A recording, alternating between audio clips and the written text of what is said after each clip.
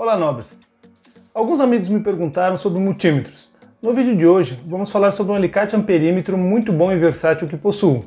Estou falando do Fluke 376. Mas o que é um alicate amperímetro?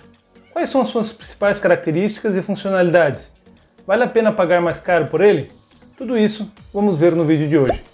Se você ainda não é inscrito no canal, se inscreva, deixe aquele joinha, ative o sininho de notificações e assim juntos vamos fazer o canal crescer cada vez mais. E não se esqueça de compartilhar este vídeo com aquele seu amigo que não sabe o que um bom equipamento de medição é capaz de fazer. Mas vamos em frente. O Fluke 376 vem com este case de proteção, as ponteiras de medição de tensão, a ponteira flexível de corrente de até 2.500 amperes, o próprio multímetro e o seu manual de instruções. Bem pessoal, o que é um alicate amperímetro? Muitas pessoas têm essa dúvida e eu costumo dizer que é um multimedidor de várias grandezas elétricas com uma função dedicada para medir corrente através desta garra ou pinça que ele possui nessa parte frontal aqui do equipamento, tá pessoal? Abrindo a garra, é possível pegar um único condutor elétrico e medir a corrente que está fluindo por ele sem o inconveniente de ter que abrir o circuito e fazer a corrente passar por dentro de um medidor. Isso torna a medição muito mais rápida e segura e é justamente essa facilidade que as pessoas procuram quando querem comprar um multímetro do tipo alicate. Ergonomicamente, é um aparelho de medição bastante prático. É possível operar ele praticamente somente com uma mão. E isso em campo, no dia a dia, faz uma grande diferença na hora de fazer medições. Então percebam né, que a gente abre a garra, gira, né, aqui esse botão rotativo é emborrachado, então ele facilita o acionamento dele através de um único dedo, né, tanto na, na parte frontal como na lateral aqui, a gente consegue operar ele com um dedo só, né? Tem os botõezinhos aqui embaixo de medição, de iluminação, que a gente consegue então acessar ele com bastante facilidade, somente com uma, com uma mão. Um botão de hold aqui né, para segurar a medição, então é bem, bem prático o uso dele operando somente com uma mão. Outra característica interessante desse equipamento é que ele é True RMS. Mas afinal, o que é isso? True RMS vem do inglês True Root Mean Square, que significa raiz média quadrada verdadeira. Mas qual a vantagem de se ter um equipamento desses? Como sabemos, a cada dia que passa temos mais e mais equipamentos elétricos e eletrônicos em nossas casas. E isso não é diferente na indústria. A grande maioria desses equipamentos são não lineares, ou seja, acabam inserindo uma série de distorções no sistema elétrico. Os multímetros comuns, e consequentemente os mais baratos, foram projetados para medir uma forma de onda senoidal, sem distorções, e funcionavam muito bem. Porém, há uns 70 anos atrás começaram a surgir os conversores, fontes chaveadas, dimers, inversores de frequência, e aí pessoal, tudo mudou. Com a necessidade de fazer medições nessas formas de ondas distorcidas, se desenvolveu a tecnologia True RMS, que de maneira simplificada retira várias amostras do sinal medido e calcula o valor com precisão. Para termos uma ideia do erro associado, nesta tabela presente no manual da Fluke, vamos comparar um multímetro comum com um True RMS. Então, pessoal, se a gente for medir uma onda senoidal pura, né, a medição com um multímetro comum será correta e com equipamento True RMS também será correta. Agora, pessoal, se utilizarmos uma forma de onda quadrada, o multímetro True RMS irá fazer a medição correta e o valor medido pelo multímetro comum será 10% superior.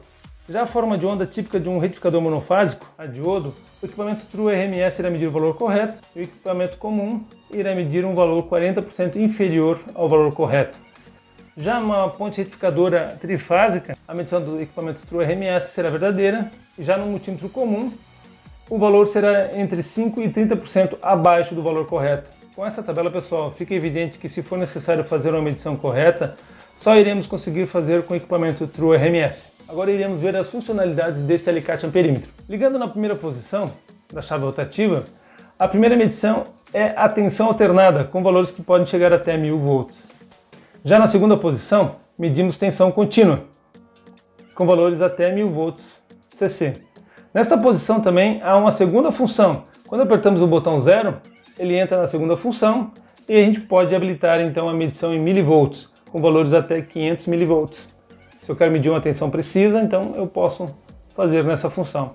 A próxima medição mede valor de resistências até 60 mil ohms associado com um teste de continuidade para valores menores do que 30 ohms. E aqui então vamos avaliar o BIP, pessoal. É algo que às vezes o pessoal não dá muita importância, mas que olha só como é rápido o acionamento do BIP. Tem multímetros que isso é lento, isso é demorado, o que pode acarretar algum, algum erro de medição ou, ou tornando o trabalho um pouco mais lento. Esse aqui é bastante rápido, tá pessoal? O que determina também a qualidade do multímetro. Esta posição também tem uma segunda função. Apertando o zero, é possível medir capacitâncias com valores até 1000 microfarad. Então, bastante importante, bastante legal, interessante para medir capacitor, banco de capacitores em subestações, por exemplo. Mudando a chave para a próxima posição, iniciamos a medida de corrente alternada, utilizando a garra do multímetro com valores de medição de até 1000 amperes. Uma informação interessante é que nas medições de corrente, este equipamento possui um filtro passa-baixa, buscando com isso eliminar os ruídos da medição.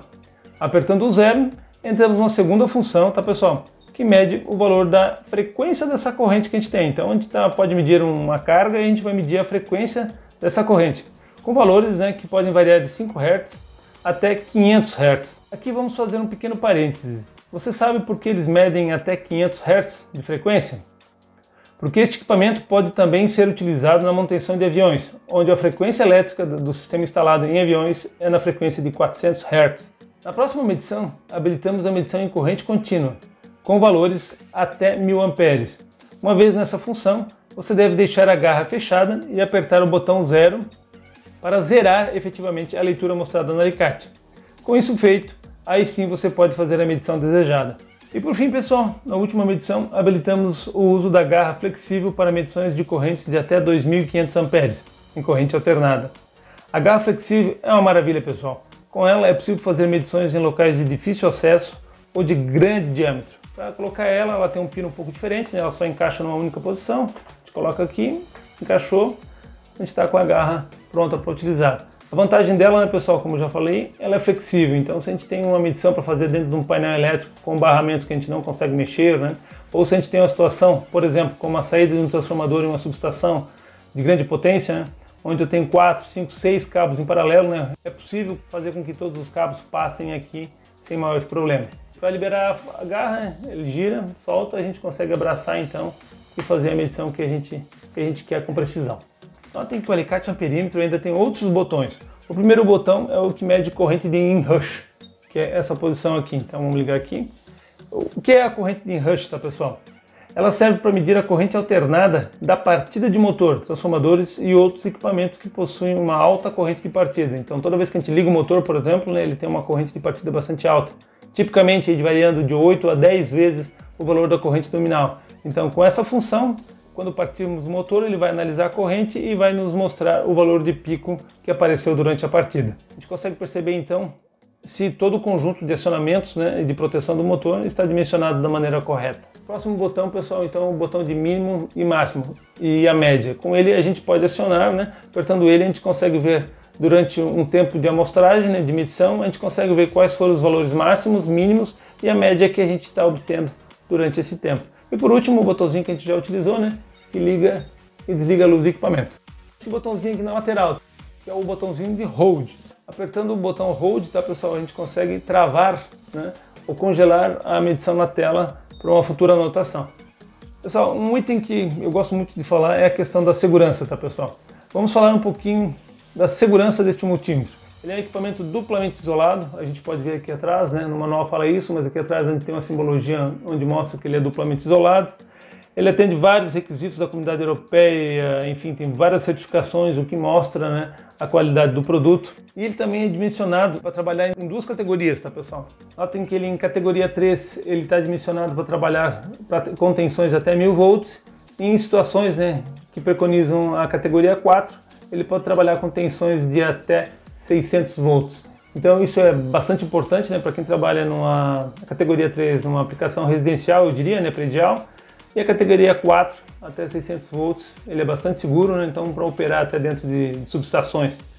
Então pessoal, fazendo algumas medições, né, agora estou medindo a tensão alternada da minha tomada, aqui no laboratório, e vamos apertar a função mínima e máxima. Essa função é bastante interessante em situações onde pode ter oscilação de tensão com partidas de máquina, desligamento de máquinas, né, onde pode ter picos ou vales né, de tensão, a gente consegue, através da função máximo e mínimo, consegue capturar elas e ter uma ideia da tensão média que, tá, que, que esteve durante o funcionamento do equipamento. Então, bem, bem interessante, tá pessoal? Tensão máxima 225.8, tensão mínima 224 e a média 224.5.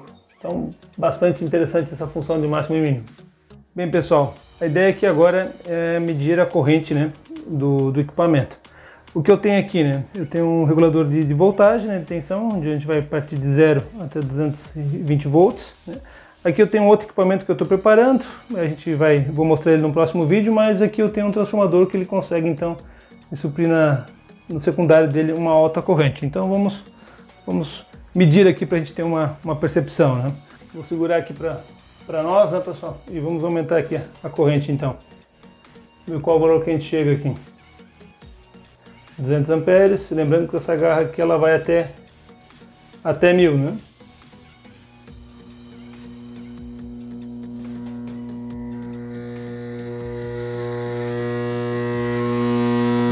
Cheguei em meus 1000 amperes, ele zerou, né? Vamos zerar aqui também. Então funciona para até seus 1000 amperes. Um dado interessante, né, pessoal? Sempre eu tenho que medir uma, um fio, né? Eu não posso colocar os dois. Se eu colocar os dois, né, vamos fazer um teste aqui para a gente ver o que acontece. Ó, estou com uma corrente aqui de 65 amperes, certo? Se eu abraçar os dois fios, né? Porque lembrando que a corrente ela vem e está voltando, certo? Então se a gente abraçar os dois, ele praticamente vai zerar a corrente, tá pessoal? Sempre quando for medir corrente, a gente tem que utilizar somente um fio. Se a gente colocar os dois, né, principalmente se for do mesmo circuito, a gente está fazendo uma somatória, né, somando mais 66 menos 66 vai dar aproximadamente, aproximadamente 0 amperes. Agora vamos fazer a medição com a garra flexível. Conectando a garra, né, passando para o modo flex. Estou medindo a corrente, então no modo flexível, né? Então vamos ver aqui agora qual o valor que a gente vai qual o valor de corrente que a gente vai obter aqui. Sendo que vai ser uma medição bem rápida, tá pessoal?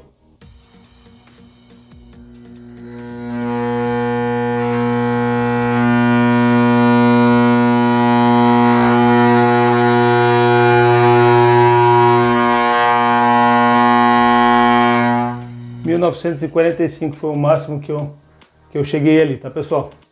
Outro fato interessante, tá pessoal? Se a gente quiser medir né, um valor com maior precisão. Por exemplo, eu estou com aproximadamente 20 amperes aqui. Se a gente tem alguma dúvida, né, uma dica que se faz, algo que é interessante se fazer, é passar duas voltas, né? Visto que a garra é flexível, né, lembrando que aqui a gente está com 20 amperes, né, visto que essa garra é flexível, o que, que a gente pode fazer? Contornar, né, ou fazer duas voltas aqui em torno do fio que a gente quer medir. Se a gente fizer isso, o valor dobra, certo? Estou pegando duas vezes a mais a intensidade de campo magnético no entorno desse fio, então a minha medição dobra. Olha só pessoal, 2500.